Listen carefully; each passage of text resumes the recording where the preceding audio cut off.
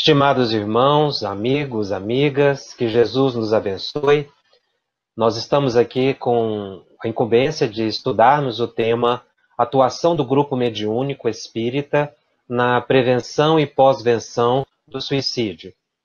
Realmente é um tema importante, uma vez que se refere à estruturação do grupo mediúnico para auxiliar os benfeitores espirituais na prevenção, ou seja, no atendimento às pessoas com ideação suicida, encarnados e desencarnados, e também para aqueles que já perpetraram o ato do autoextermínio.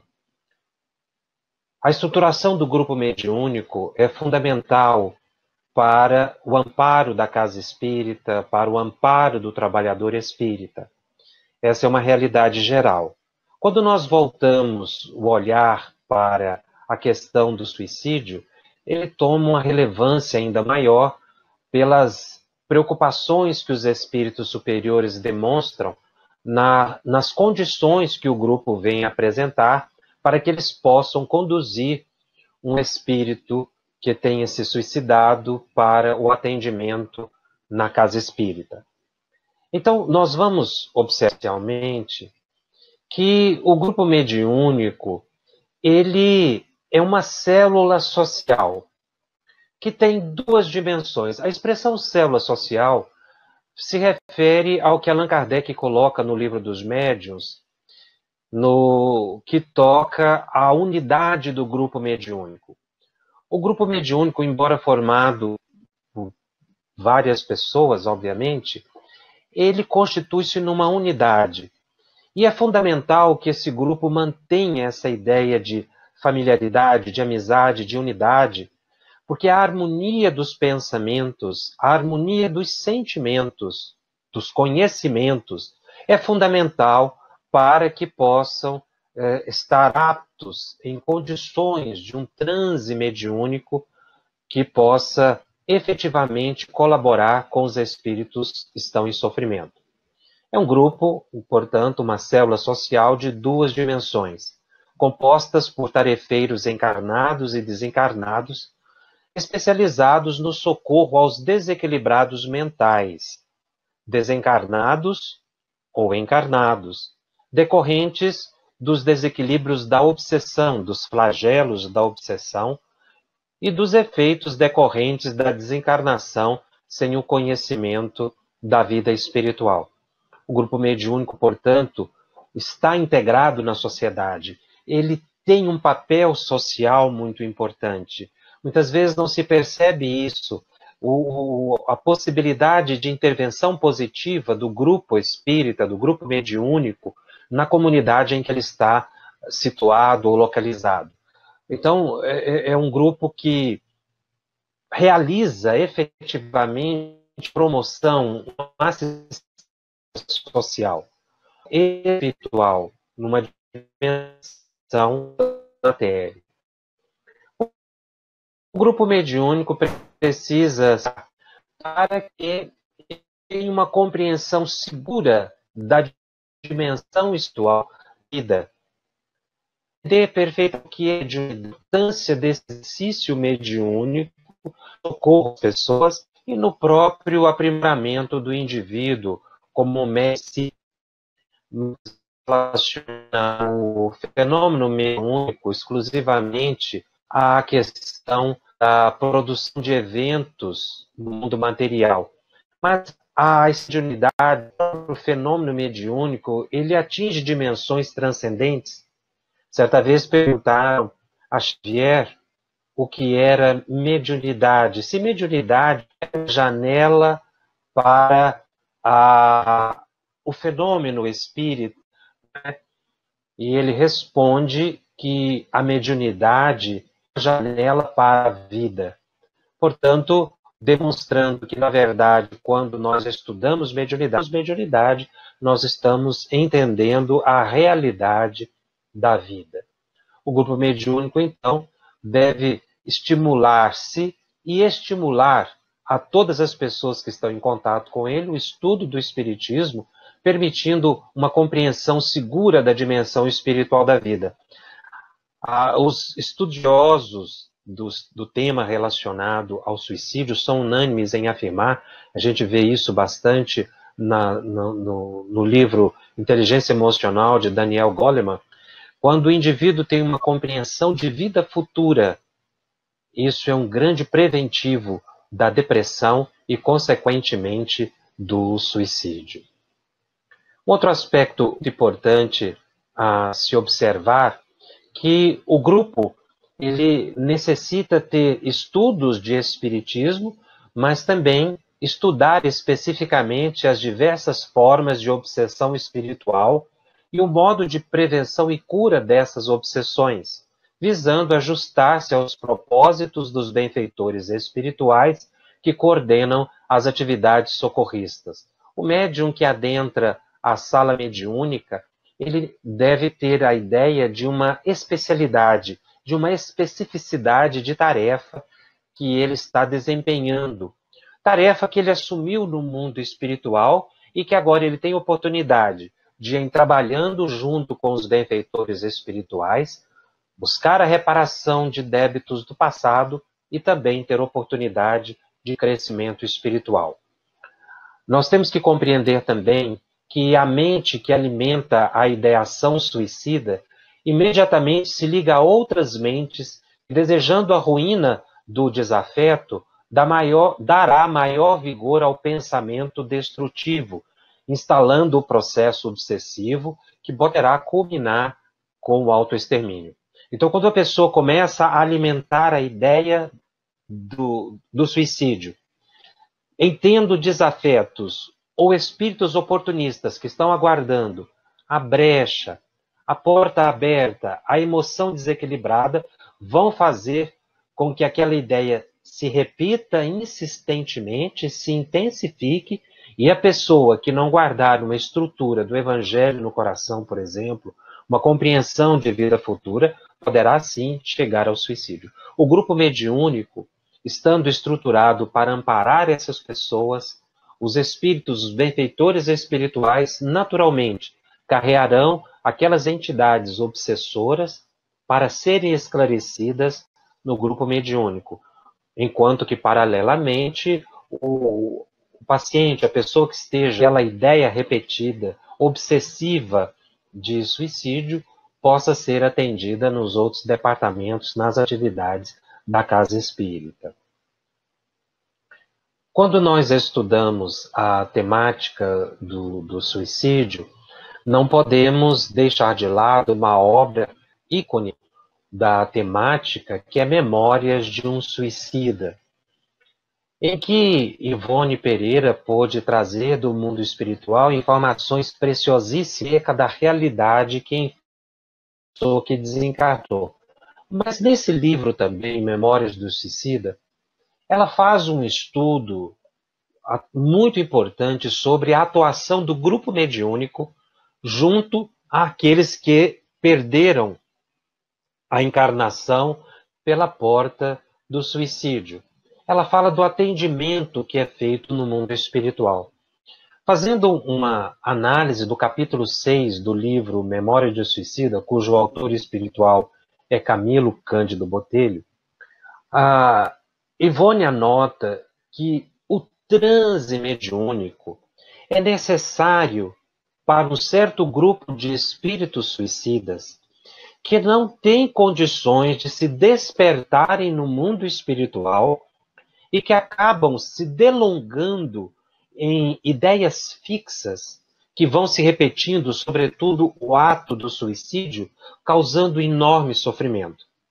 Ela narra nesse capítulo 6 do livro que benfeitores espirituais ligados a Maria, mãe de Jesus, na colônia de Maria, buscaram grupos mediúnicos que teriam condições de atender esses espíritos.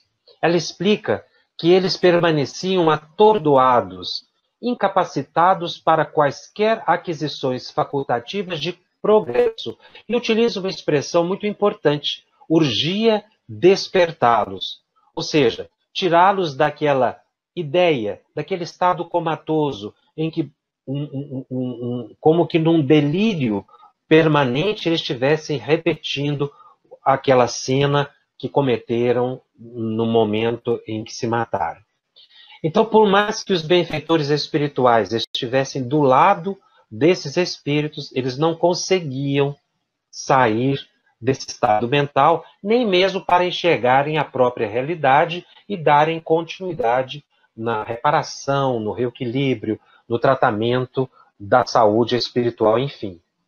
Então, ela, ela diz que o transe mediúnico, pelo que ela descreve, funciona como um ato terapêutico. O transe em si, o ato de entrar em contato psíquico com o médium e ele recupera aqueles sentidos que foram perdidos, os sentidos orgânicos, porque eles entram num, num, num campo puramente psíquico, sem contato com a matéria, e isso lhes atordoa cada vez mais. Então, buscaram grupos mediúnicos que foram encontrados aqui no Brasil, e, inclusive, pelo que ela descreve, nem todos os grupos mediúnicos teriam condições de atendê-los. No livro há uma anotação muito interessante que os benfeitores espirituais buscaram organizações científicas onde o senso religioso e a fúlgida moral cristã consolidavam o ideal de amor e fraternidade. Então aqui nós vamos perceber pela anotação de Ivone que os grupos mediúnicos vistos pelo mundo espiritual são organizações científicas. Aliás, esse é o próprio pensamento de Allan Kardec quando ele diz que o espiritismo é uma ciência nova, de consequências morais profundas, chamado aspecto religioso, na verdade, uma religião transcendental, em que o adepto vai encontrar uma moral nova com referência em Jesus. Então, os grupos que teriam condições de atender os suicidas seriam grupos estruturados no conhecimento, organizações científicas, mas que também tivessem pessoas imbuídas de uma transformação moral que lhes dessem condições de captação desses espíritos altamente sofredores no mundo espiritual, com o ideal profundo de amor e de caridade ou fraternidade, como é utilizada a expressão de Ivone. Nesse mesmo capítulo, ela faz um, um, estudo muito importante que exatamente sobre esse estado do espírito, que inclusive é estudado também por André Luiz, ele utiliza a mesma expressão no livro Libertação, e nós tivemos oportunidade de anotar no livro Psicofonia de André Psicofonia nas obras de André Luiz, que é um livro de pesquisa relacionado ao transe psicofônico, em que na condição em que esses espíritos se encontram na vida espiritual, muitas vezes as entidades estacionam processos auto-hipnóticos, resultado do monoísmo, ou da ideia fixada pelo ódio, pelo remorso, pelo medo, e isso lhes impede a realidade, o retorno à realidade ou ao fluxo contínuo dos pensamentos. Para esses espíritos, as energias mediúnicas circulantes no momento do trânsito provocam o que pode chamar de a crise do despertar, constituindo-se numa ruptura nas elaborações mentais negativas que encerram ou interrompem o ciclo vicioso dos pensamentos obnubilados, turvados, perturbados, fazendo com que a entidade volte ao estado consciencial, ensejando-lhe sensíveis melhoras em nível mental, perispiritual e emocional.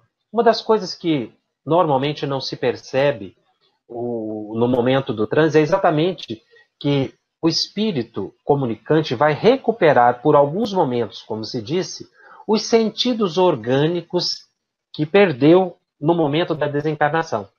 Como a pessoa não tem preparo para compreender a realidade espiritual, a perda abrupta dos nossos cinco sentidos faz com que o indivíduo fique altamente perturbado, porque ele entra numa realidade nova que ele não esperava encontrar. Principalmente porque as suas sensações, as suas emoções tomam um relevo é, exponencial, muito maiores do que quando tinha no plano físico. Isso causa uma perturbação muito grande. Ora, se o indivíduo é um suicida, isso vai para um grau superlativo, em que o indivíduo não consegue ter uma clareza mental, então ele é necessário ser levado ao grupo mediúnico para que, através do transe, em contato com as energias do médium, ele possa se despertar para a realidade espiritual da vida, ou seja, ver, perceber o estado em que se encontra. No capítulo 6 ainda do livro Memórias do Suicida, quando Ivone Pereira, anotando as orientações de Camilo, descreve o transe mediúnico de um suicida, ela diz que há um sinal, ou seja, de um coordenador espiritual mais elevado, Alceste e Romeu, que eram os espíritos enfermeiros encarregados de conduzir o suicida até a reunião mediúnica, aproximaram o suicida da médium, no caso, aquela que teria condições ali de atender àquela entidade comunicante. Dois médicos responsáveis pelo espírito em questão acompanhavam. Então, nós temos aqui dois enfermeiros e dois médicos espirituais encarregados do caso que estariam ali naquele momento promovendo a sintonia do médium e do comunicante, estabelecendo, como notado aqui, sua ligação com o precioso médio. E também a este dispensando a mais desvelada assistência, a fim de que nenhum contratempo sobreviesse. Os espíritos superiores informam, sobretudo André Luiz, que, que descreve também esse evento nos mesmos termos, que no momento em que o espírito comunicante se aproxima do médium, começa a acontecer uma troca de pensamentos. É a vontade ativa do espírito com a vontade passiva do médium, ambos se encontram psiquicamente e as ideias e as emoções se comunicam, se intercambiam. É um encontro de perispírito com perispírito. O médium, para ter essa condição psíquica, ele recebe passes, ele fica como que com um campo magnético mais intensificado para que ele possa perceber as sensações e as emoções do espírito. Ivone Pereira nota que, apossando-se de um aparelho carnal que piedosamente por momentos lhe emprestavam no intuito cristão de beneficiá-lo, por ajudá-lo a conseguir alívio, o desgraçado suicida sentiu em toda a sua plenitude a tragédia que vinha-lhe repetindo a mente e que ele esperava e que ele experimentava continuamente numa treva, num martírio contínuo.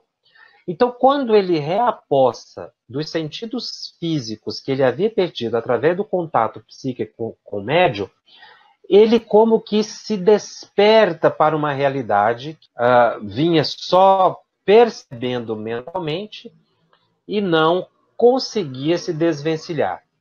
O trecho que nós vamos ler é extremamente importante para clarear o que estava acontecendo. O espírito comunicante, o suicida, enlouquecido. Quando se liga a médium, ele observa o próprio corpo que havia sido despedaçado sob as rodas de um trem. Então ela descreve: vendo sobre a mesa os fragmentos em que se convertera seu desgraçado corpo de por ele próprio atirado sob as rodas de um trem de ferro, pois seu inacreditável estado mental fazia-o ver por toda parte o mal que existia em si mesmo, chaga que lhe violentava a consciência. Arrebatou a jovem médium em agitações penosas, e, debruçando-se sobre a mesa, pôs-se a reunir aqueles mesmos fragmentos, tentando reorganizar o corpo que via, cheio de horror, eternamente disperso sob os trilhos, presa dramática de uma das mais abomináveis alucinações que o além-túmulo costuma registrar. Ia, nervosamente, arrepanhando papéis, livros e lápis que se achavam dispostos sobre a mesa, à disposição dos psicógrafos, e nele julgando reconhecer as próprias vísceras esfaceladas, ossos triturados, carnes sangrentas, o coração, o cérebro, reduzidos a montículos repugnantes, mostrava-os chorando convulsivamente ao presidente da reunião, a quem enxergava com facilidade, suplicando sua intervenção junto a Jesus Nazareno. Resumindo essa, esse trecho muito importante do livro Nos Domínios, desculpe, no livro Memórias de um Suicida. O espírito entra em transe, liga-se psiquicamente a médio. E o que, que aconteceu? Naquele momento, ele recuperando os sentidos orgânicos que havia perdido, ele pôde perceber o ambiente em torno, mas ele teve também uma crise de alucinação. E ele viu nos objetos que estavam sobre a mesa pedaços do seu corpo. Isso nos faz recordar uma orientação muito importante de André Luiz no livro Desobsessão, e quando ele diz que não se deve deixar sobre a mesa da reunião mediúnica nenhum objeto. André Luiz é claro, ele diz que a mesa deve permanecer limpa. Naquela obra, no livro Desobsessão, Psicografia e Maldeira, ele não chega o que, que a mesa ficar sem o ilustra perfeitamente pelos quais possivelmente André Luiz tenha notado que não se deve deixar nenhum objeto no momento da reunião mediúnica, porque esses objetos podem favorecer alucinações, como nesse caso aqui descrito. O suicida via nos objetos pedaços do seu próprio corpo. E a médium, uma jovem médium, é assim que ela descreve a, a, essa intermediária que estava se predispondo ao trabalho, ela se dobra sobre a mesa e descontroladamente reunia os papéis, lápis, livros, juntando, como se estivesse ali reunindo os pedaços do próprio corpo. Foi uma cena que o livro descreve que realmente é uma cena que comove imensamente por perceber a dor e o sofrimento do suicida que fica exposto no momento do transe mediúnico. Mas ele também, embora estivesse tendo um quadro de alucinação, ele pôde perceber o dirigente da reunião. Ele não conseguia ver os benfeitores espirituais, mas como ele estava agora ligado à mente da médium, ele já começava a se despertar, inicialmente vendo o dirigente. Então, o, o dirigente da reunião, a expressão utilizada por Ivone no livro, o presidente, a quem tutelares invisíveis amorosamente inspiravam, aqueles médicos que estavam acompanhando naturalmente o espírito suicida, o paciente que estava se manifestando, fala-lhe piedosamente, consolam, apontando a luz sacrossanta do Evangelho do Mestre Divino como o recurso supremo e único capaz a socorrê-lo. Elevam a singela, uma prece singela e amorosamente. Ou seja, o espírito entra em transe, entra nesse estado convulsivo de choro, de desespero, tem um quadro de alucinação, e o dirigente da reunião, e aqui há um destaque muito importante, a ligação do dirigente da reunião com aqueles espíritos responsáveis pelo atendimento ao desencarnado. Começaram a inspirar o dirigente da reunião. Muitas vezes o dirigente da reunião mediúnica não percebe que está sendo conduzido sob forte intuição e inspiração. Então, colhendo esses pensamentos espontaneamente, ele começa a falar calmamente com o espírito mas faz uma prece. Segundo Ivone descreve no livro, essa prece, que foi acompanhada pelos benfeitores espirituais, que foi acompanhada pelos demais é, integrantes da reunião mediúnica tiveram um efeito balsâmico excepcional na, na, no espírito comunicante. Era como se estivesse colocando ataduras que balsamizaram aquela dor, aquela angústia. Ele foi acalmando, acalmando, acerenando, acerenando, mostrando como se deve fazer para atender um espírito suicida que chega na reunião mediúnica, que se manifesta em alto estado de perturbação espiritual. Não adianta inicialmente falar muitas coisas. Ele não está em condições de ouvir. É necessário que ele a serene psiquicamente. E a prece é um recurso excepcional para que possa trazer aquele medicamento. Ela utiliza essa expressão. Realmente era um bálsamo que chegava àquela alma que estava totalmente transtornada porque era o primeiro momento em que ela pôde expressar o sofrimento que ela estava tendo ritual. A partir do momento em que o, o, o suicida se acalma, se tranquiliza, aí há um procedimento descrito por Ivone que, pela descrição do livro, é considerado extremamente importante. O dirigente na medida em que o espírito tenha condições, o dirigente da reunião mediúnica vai explicar pormenorizadamente aquilo que aconteceu e por que aconteceu. Então ele vai explicar onde ele está, que está se comunicando através de um médium, que está sendo acolhido amorosamente por benfeitores espirituais, e explicar o ato, o que ele estava vendo, foi o ato do suicídio.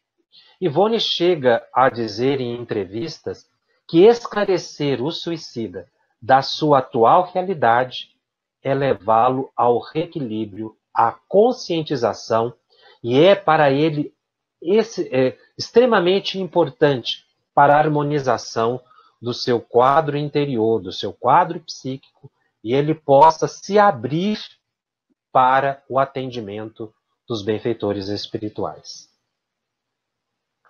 Um outro aspecto importante que Ivone anota ainda nesse capítulo 6 do livro Memórias do Suicida, que a partir daquele esclarecimento do dirigente, o suicida compreendeu e aceitou o acontecimento, que sentia dificuldades e repar até então. Isto é, que era imortal, continuaria vivendo vivendo ainda e para todo sempre, apesar do suicídio. Esse esclarecimento, essa conscientização, essa aceitação do momento de vida, o reconhecimento do erro que cometeu, mas que ele não é um réprobo permanentemente, ele não precisa estar no sofrimento eterno, mas sim buscar a reparação, o seu próprio reequilíbrio, é fundamental para a continuidade da marcha reencarnatória. Exatamente aquilo que Allan Kardec explica, sobretudo no livro O Céu e o Inferno, quando ele estuda manifestações de suicidas. Não é uma pena eterna. A pessoa deve compreender o ato que cometeu, entrar num estado de conscientização ou de expiação, como é a expressão utilizada por Allan Kardec, e a partir daí buscar a reparação, porque não há pena eterna.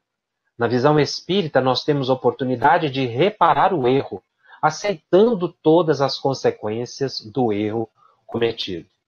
Então, o atendimento ao espírito suicida é sui generis, ou seja, requer uma equipe preparada, requer ambiente apropriado, requer uma atenção especializada que o grupo D, quando ele sente que está tendo manifestações de suicidas, é porque ele foi destacado no mundo espiritual para essa atividade. Os médios estão são preparados para isso, mas o grupo deve continuamente se aperfeiçoando para se ajustar a essa tarefa que lhe foi encarregada no mundo espiritual.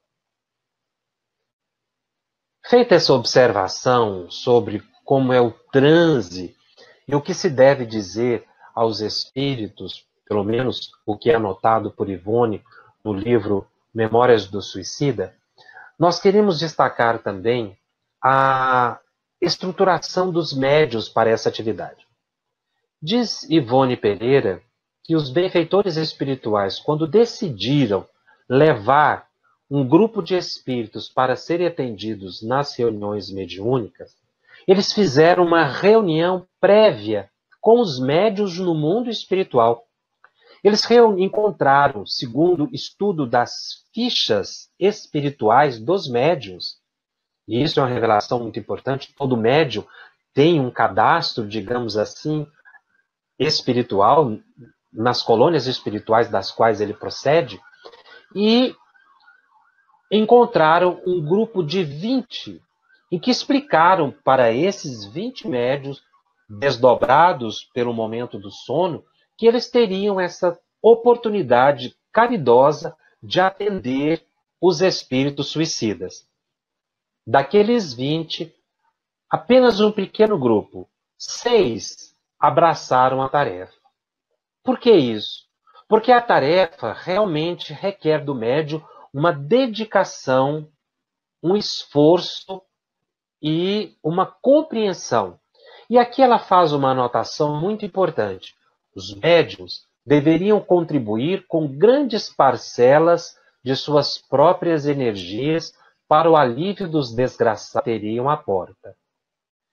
Esguar-se-iam provavelmente idoso fã de lhes estancar as lágrimas. Seria até mesmo possível que durante o tempo que estivessem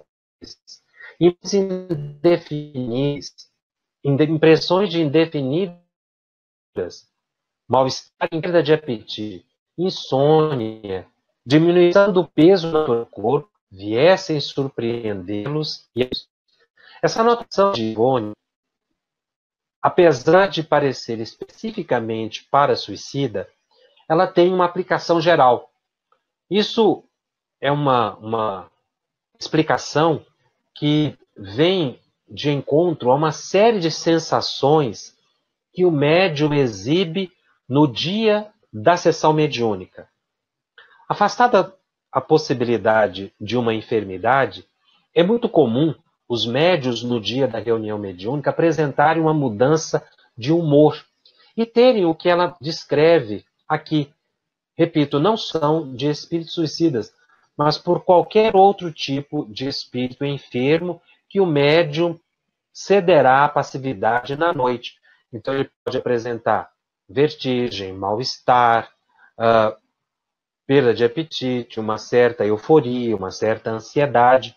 O médium necessita compreender que isso é natural na tarefa mediúnica. O que, que está acontecendo? Ele está se sintonizando com a entidade que irá se comunicar por seu intermédio. Esse, essa sintonia é necessária porque o transe mediúnico não é um ato aleatório. É necessário que o médium conviva pelo menos um pouco com o espírito, ao menos nas 24 horas anteriores, e é natural que ele assimilando as emoções as sensações do espírito, ele somatize. Mas, amparado por benfeitores espirituais, no após a sessão mediúnica, todas essas sensações tendem a desaparecer. Muitos médios ficam tanto quanto aflitos com essas sensações que eles exibem no dia da reunião mediúnica, acreditando que é até uma questão de descontrole, ou invigilância, ou indisciplina. Mas a verdade não é. Isso faz parte do processo de sintonia. É necessário que o médium conviva, repetimos, pelo menos por um tempo com o espírito que irá se comunicar. Quando um médium se especializa na tarefa de atender os suicidas, segundo Ivone, essas sensações são um pouco mais intensas, mas também a eles não falta o amparo, não falta assistência, não falta proteção, muito pelo contrário, eles acabam tendo uma proteção à altura do esforço e do dispêndio de energias que terão por emprestarem o aparelho mediúnico, por serem médiums para essa atividade de alta caridade que é atenderem os espíritos suicidas. deve permanecer numa vigilância permanente, numa serenidade psíquica, evitar as intranquilidades do dia a dia, buscar na prece o conforto, as energias necessárias, porque muitas vezes não tem conhecimento total do compromisso que assumiu no mundo espiritual, em quais tipos de espíritos ele estará se sintonizando para atender na noite na reunião mediúnica. Então é por isso é que é importante que ele mantenha uma tranquila serenidade emocional, aquela tranquilidade psíquica, uma sintonia harmoniosa com os benfeitores pela meditação e pela prece, para que ele possa ser instrumento adequado à mão dos, benfeitores espirituais. Feita essa breve análise sobre a contribuição do médium, nós queremos destacar também a importância do dirigente espiritual na atividade. Há uma expressão utilizada por André Luiz no livro Desobsessão que o movimento espírita vem pouco a pouco compreendendo e assimilando. Nós utilizamos ainda muito a expressão eh, dialogador, doutrinador, mas a ideia mais clara dessa atividade de atender os espíritos em reunião mediúnica é, na verdade, de esclarecimento. Então, André Luiz, no livro Desobsessão, utiliza a expressão médiums esclarecedores para se referir àqueles que vão dialogar, para utilizar essa expressão, com os espíritos sofredores. Na verdade, se você for observar bem pelo que descreve Ivone no capítulo 6 mencionado, e por André Luiz em diversas obras, sobretudo no livro Nos Domínios da Mediunidade, o dirigente da reunião mediúnica e seus assessores não estão promovendo efetivamente um diálogo com os espíritos. Eles estão esclarecendo os espíritos sobre a realidade em que eles se encontram. É uma ideia que se imprime quando se duas, duas pessoas estão trocando ideias no mesmo nível. Mas a reunião mediúnica é um ambiente terapêutico de socorro a doentes encarnados e desencarnados. Obviamente que no momento do transe, para os enfermos desencarnados. Então, está acontecendo ali, naquele instante, um atendimento médico espiritual, um esclarecimento. Como num consultório médico ou psicológico, o paciente está ali, não é, sendo atendido pelo terapeuta, pelo médico ou psicólogo no caso. Então, na equipe em serviço, diz André Luiz, os médicos esclarecedores, mantidos sob a condução e inspiração dos benfeitores espirituais, são os orientadores da enfermagem ou da assistência aos sofredores desencarnados, constituídos pelo dirigente do grupo e seus assessores. São eles que os instrutores da vida maior utilizam em sentido direto para o ensinamento ou socorro necessários. O dirigente e seus assessores devem perceber que são médios intuitivos.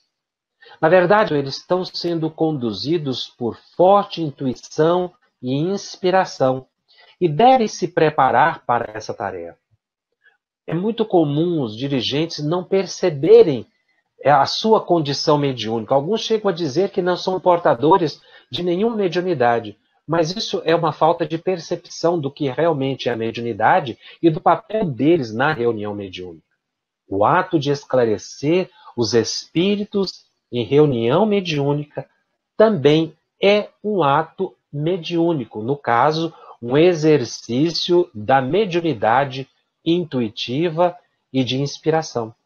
Ora, se o dirigente é um médio intuitivo, ele deve buscar desenvolver essa mediunidade através do estudo, da meditação, da oração, do burilamento interior, da reforma moral, prescrever para si aqueles mesmos, as mesmas prescrições que tem para os médios no dia da reunião mediúnica.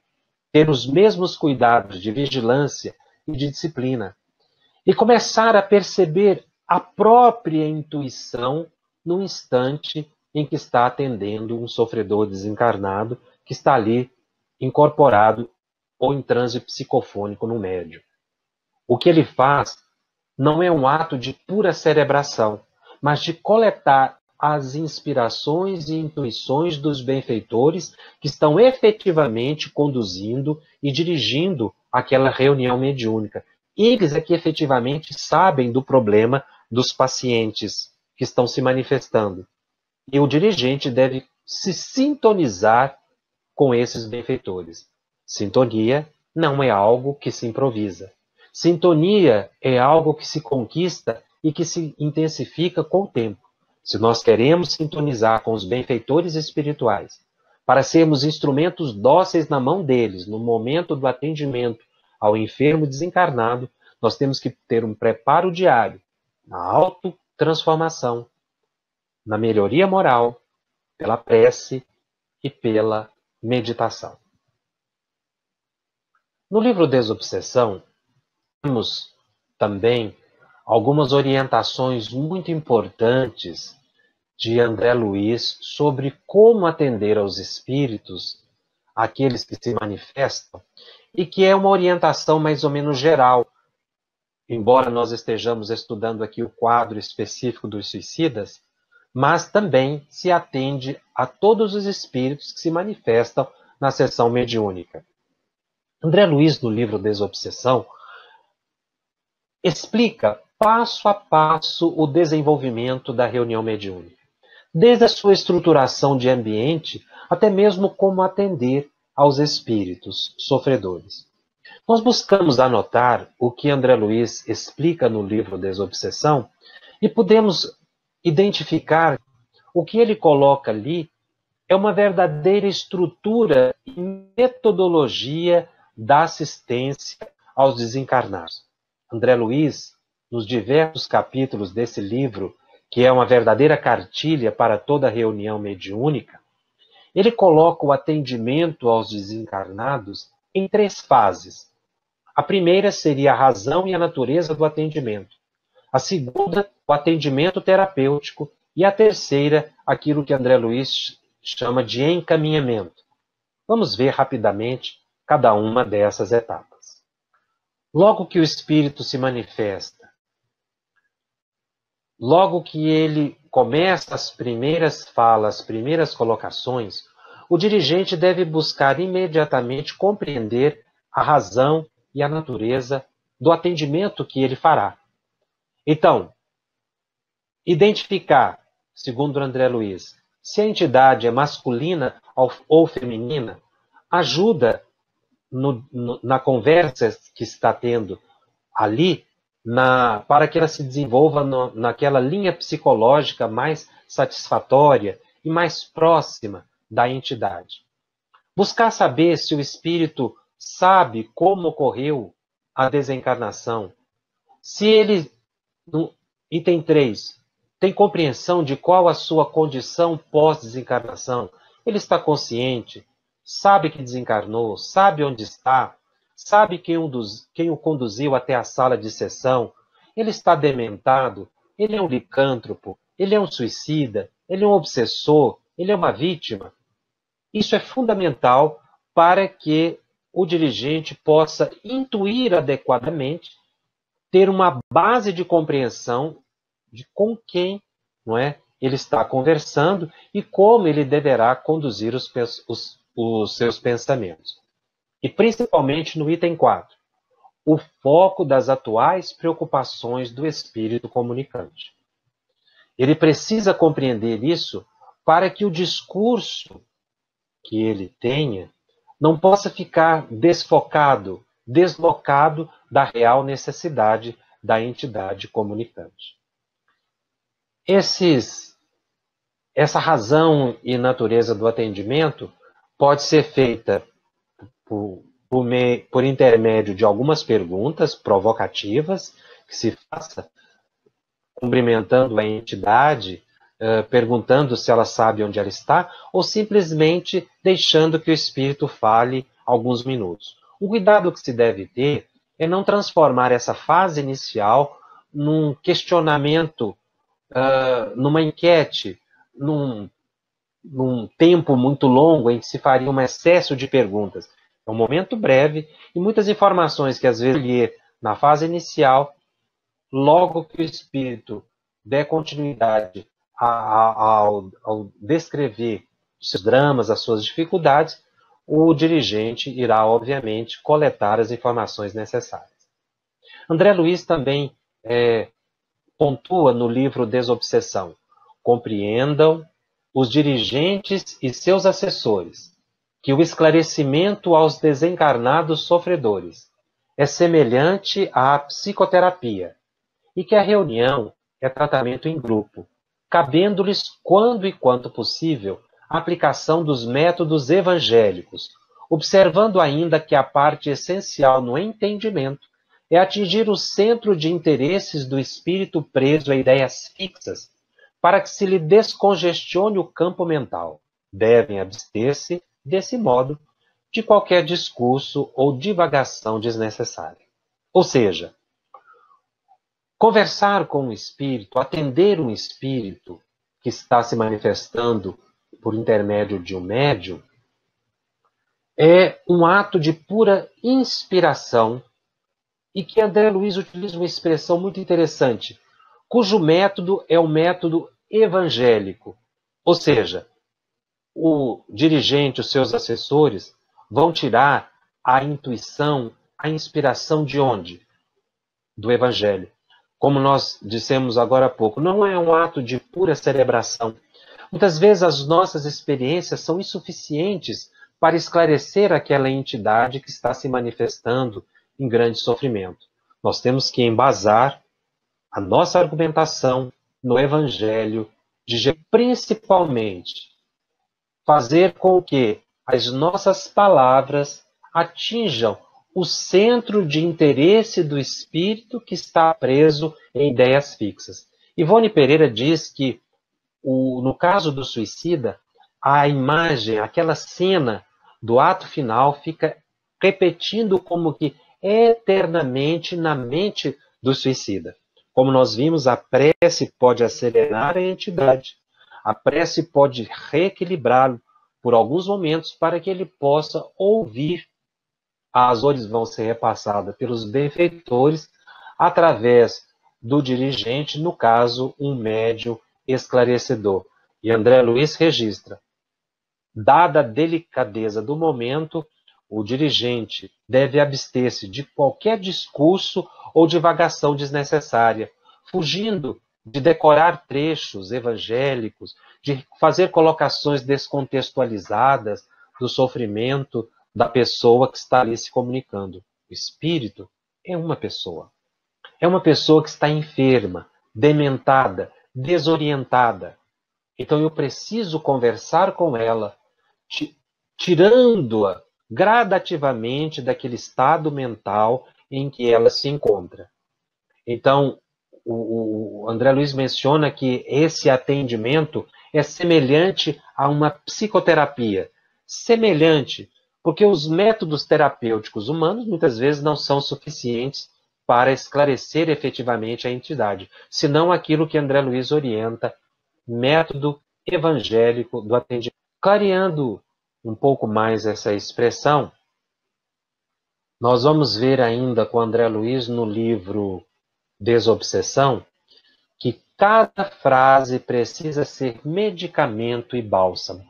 Então, cada palavra que o dirigente estiver utilizando, ou aquele que está sendo a, entidade, cada palavra precisa ser pensada, calculada, dosada, porque será medicamento e consolo para a entidade que está em sofrimento. Ou seja, eu não posso utilizar palavras aleatórias, um discurso vazio que chegue a uma doutrinação. Na verdade, o, os espíritos dizem que não há uma fórmula para você dizer aos espíritos. Não há uma maneira específica para você conversar com um suicida. Se fala de uma forma, para um licântropo é de outra forma, para um sofredor é de uma forma. Você, na verdade, não há um modelo específico para cada uma dessas entidades. O caso concreto é que vai determinar como eu devo atuar. É claro que partições intuitivas para atender aquele espírito que está em sofrimento, eu preciso criar uma plataforma psíquica de conhecimento que me dê condições de intuir o que os espíritos querem que eu diga. Porque o esclarecedor, como nós colocamos, é um médium. Todo médium é o intérprete do pensamento dos espíritos. Então, o, o, o esclarecedor vai captar uma ideia. Ele não capta uma palavra. As palavras são dele. Mas ele precisa ter condições interpretativas. Ou seja, ele precisa ter conhecimento de doutrina espírita, ele precisa ter evangelho de Jesus, ele precisa ter conhecimento de mediunidade, como ocorre o transe mediúnico, para que ele possa interpretar perfeitamente o pensamento da entidade comunicante. Senão ele não conseguirá fazer isso. Por exemplo, se um espírito, apenas para dar um exemplo, queira utilizar uma expressão médica, se o médio não tiver no seu substrato psíquico experiência médica, ele não vai conseguir traduzir o pensamento do espírito, ou então poderá adaptar segundo as suas condições. O médio precisa enriquecer o seu conhecimento, ele precisa melhorar as suas condições intelectuais, ele precisa melhorar as suas condições mentais e emocionais para que ele possa efetivamente transmitir o pensamento dos espíritos no momento do atendimento, no caso específico do diálogo, que é uma expressão utilizada, ou do esclarecimento do espírito comunicante. Se André Luiz menciona que o terapêutico é o método do evangelho, nós precisamos estudar. Allan Kardec, na introdução do livro Evangelismo, faz uma importante reflexão. Ele diz: toda gente admira a moral evangélica, todos lhe proclamam a sublimidade e a necessidade. Muitos, porém, assim se pronunciam por fé, no que ouviram dizer ou firmados em certas máximas que se tornaram proverbiais. Poucos, no entanto, a conhecem a fundo, e menos ainda são os que a compreendem deduzir as consequências. Essa é uma realidade. Nós temos, às vezes, muito pouco conhecimento do Evangelho. E se temos pouco conhecimento, menos ainda é a nossa vivência evangélica. Ora, para que um médium esclarecedor, ou utilizando a expressão mais corriqueira, o dialogador, porque o importante é que a pessoa compreenda a sua função, que é de médio esclarecedor. Se essa pessoa não tem conhecimento do Evangelho, se ele não aplica em si o Evangelho, o que ele poderá intuir no momento em que estiver diante de uma entidade que está se comunicando em grande sofrimento? Ele, a pessoa vai buscar os seus arquivos mentais, as suas experiências pessoais. Isso muitas vezes é insuficiente. Nós precisamos estudar muito o Evangelho. Aquele que se dispõe a esclarecer as entidades, a conversar com os espíritos que estão em sofrimento, são o livro dos médios e, na outra mão, o Evangelho segundo o Espiritismo. Quer dizer, ele deve estudar bastante a mediunidade, mas também estudar bastante o Evangelho de Jesus com todas as suas dimensões. Nós temos o Evangelho segundo o Espiritismo, nós temos as obras de Emmanuel que interpretam o Evangelho de Jesus, o Novo Testamento. Nós temos os livros de Joana de Ângeles que também auxiliam no esclarecimento do Evangelho de Jesus. Ou seja, o médium esclarecedor deve ser um pesquisador do Evangelho e todos os dias buscar aplicar em si o conhecimento. Senão ele não terá capacidade interpretativa suficiente da intuição dos espíritos superiores para o que dizer a um espírito que esteja em sofrimento. Não é decorar algumas frases, como diz Allan Kardec, não é um conhecimento proverbial, é um conhecimento de experiência pessoal, aquele que busca viver o evangelho, para que ele possa falar, porque também as palavras precisam estar carregadas de emoção. O espírito comunicante, ele sente não só a, a, a, ele não percebe apenas a palavra, mas ele sente também as emoções do dirigente. Então, o dirigente deve buscar a caridade diária, a autotransformação, a disciplina, para que no momento em que esteja, estiver diante de um sofredor, ele possa falar, intuído, e transmitir a sua emoção pessoal carinhosa, amorosa, afetiva. Às vezes o espírito vai captar muito mais a emoção do que propriamente as palavras, porque nem todo suicida vai ter esse despertamento muito rápido. Muitos vão se manifestar e simplesmente dizer da sua angústia, do ato que, que cometeu, da ideia que está sendo repetida e perceber as palavras do dirigente, mas vai sentir a emoção do dirigente e a emoção do grupo. Daí a importância da melhoria da qualidade emocional. E veja, o transe mediúnico em si, como narra Ivone Pereira, é um ato terapêutico. O espírito poderá não expressar nenhuma condição de conversa ou de resposta a, a aquele que estiver lhe conduzindo ou atendendo.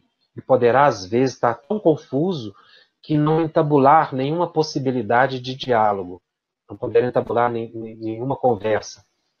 Mas nem por isso é, ele deixou de ser atendido.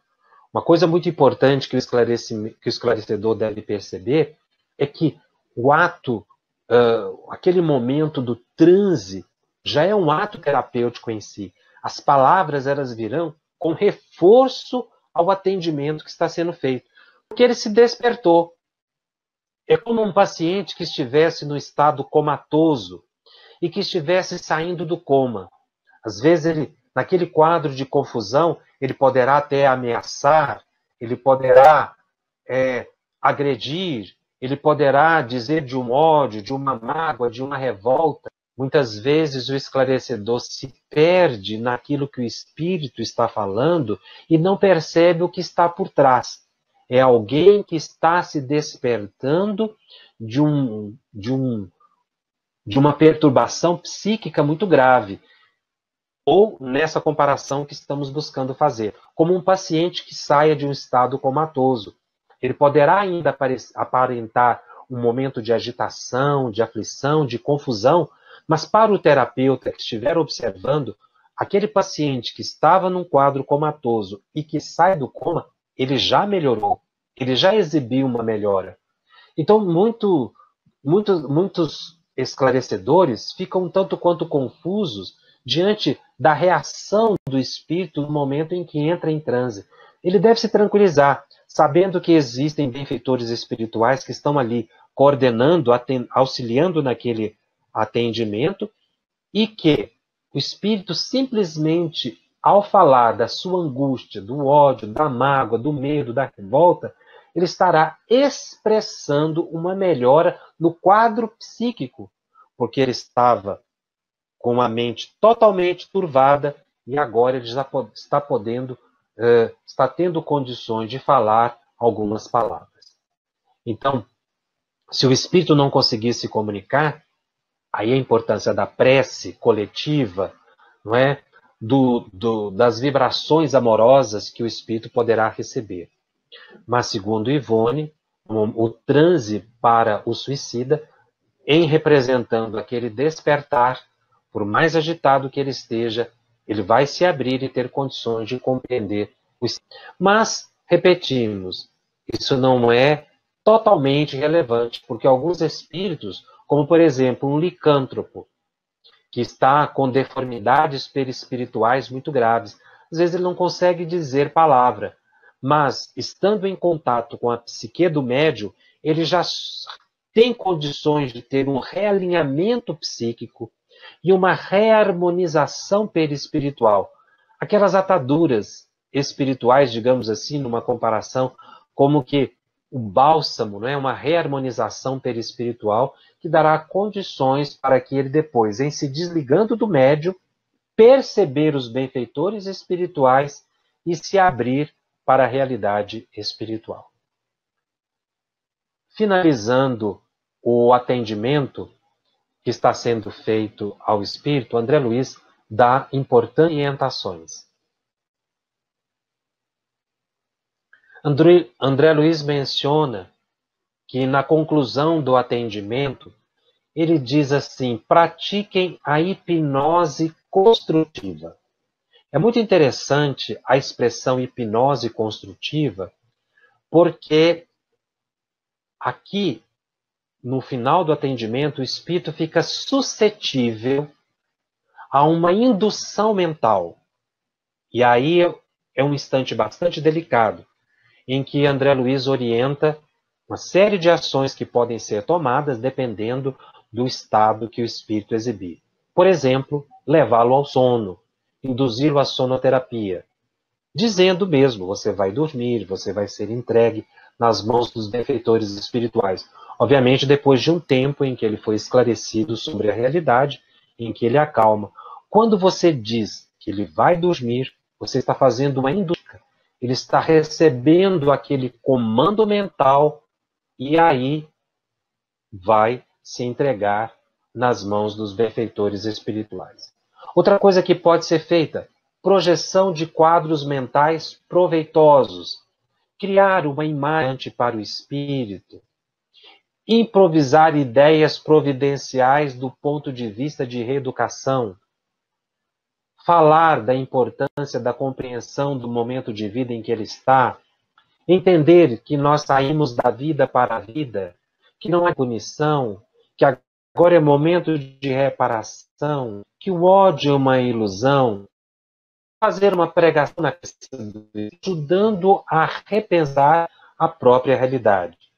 Uma imagem positiva de uma luz que esteja descendo sobre ele, ou então que ele veja uma flor, uma paisagem, induções hipnóticas positivas. André Luiz também sugere, no item 5, a produção e ministração de medicamentos. Você pode dizer à entidade, o medicamento está posto aí adiante, tome esse medicamento. Naturalmente, nesse instante, benfeitores espirituais materializarão diante do espírito aquele medicamento entidade vai sorver e se tranquilizar.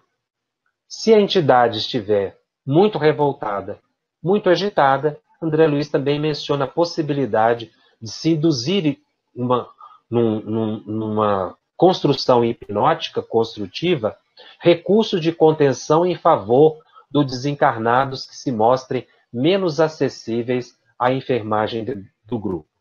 Veja como André Luiz constrói a frase: recursos de contenção em favor do desencarnado e não como atitude punitiva ao desencarnado. Dizer, se ele realmente estiver irredutível, você vai ser conduzido sim pelos benfeitores lado. Eles vão te levar. Muitos espíritos às vezes até se revoltam com esse momento, mas é a benefício deles. A atividade mediúnica é uma atividade de caridade, de benefício que se presta. De encerrar essa reflexão sobre a mediunidade, o atendimento aos suicidas, com uma frase belíssima de Jesus, apropriada a todos nós que lidamos com mediunidade. Quando Jesus diz: Nem todos os que me dizem Senhor, Senhor entrarão no reino dos céus. Apenas entrará aquele que faz a vontade do meu Pai que está nos céus. Muitos nesse dia me dirão: Senhor, Senhor, não profetizamos em teu nome? Não expulsamos em teu nome o demônio? Não fizemos muitos milagres em teu nome? Então eu lhes direi em altas vozes: Afastai-vos de mim, vós que obrais a iniquidade.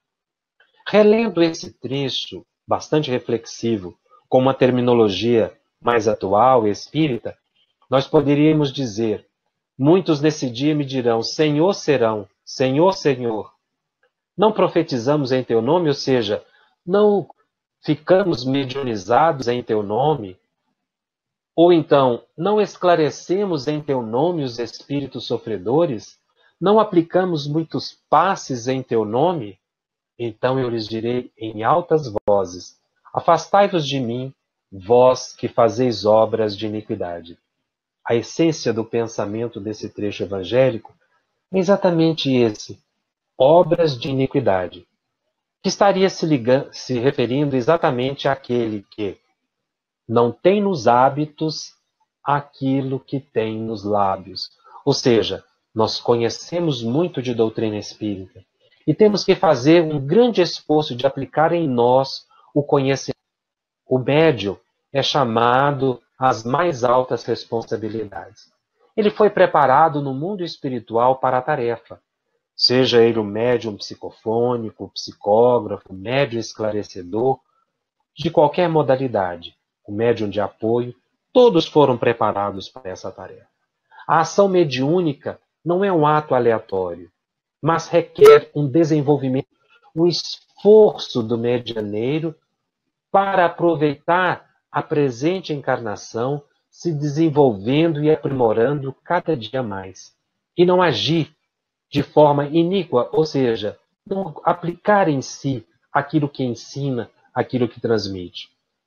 Aquele que primeiro deve receber o ensinamento é aquele que ensina.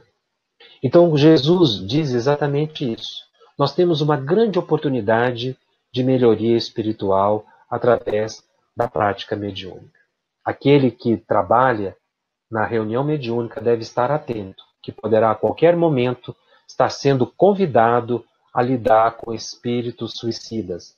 Médios que já têm atuado no atendimento aos sofredores pela desencarnação, pelas portas do suicídio, devem buscar o seu aprimoramento cada vez mais, para se ajustarem a essa expectativa de legiões de benfeitores, como Ivone revela no livro Memórias do Suicida, a legião dos benfeitores em que, em nome de Maria, socorrem na terra. Então, o grupo mediúnico, ligado a esses benfeitores, deve continuamente promover a sua melhoria, atuando decisivamente na prevenção e na pós-venção do suicídio. Muito obrigado. Nós deixamos essas bibliográficas, o livro dos médiuns, o livro Memórias do Suicida, o livro Desobsessão, nos domínios da mediunidade, o livro Orientação para a Prática Mediúnica no Centro Espírita da FEB, o curso Mediunidade, Estudo e Prática, o livro Psicofonia na obra de André Luiz, que tratam dos temas que nós desenvolvemos e que o estudante poderá desenvolver um pouco mais a partir da, daquilo que nós colocamos. E um artigo também que nós sugerimos, Atendimento aos Desencarnados, o protocolo de André Luiz, que explica com maior é, clareza ou um pouco mais essas três etapas do atendimento aos desencarnados, como nós colocamos.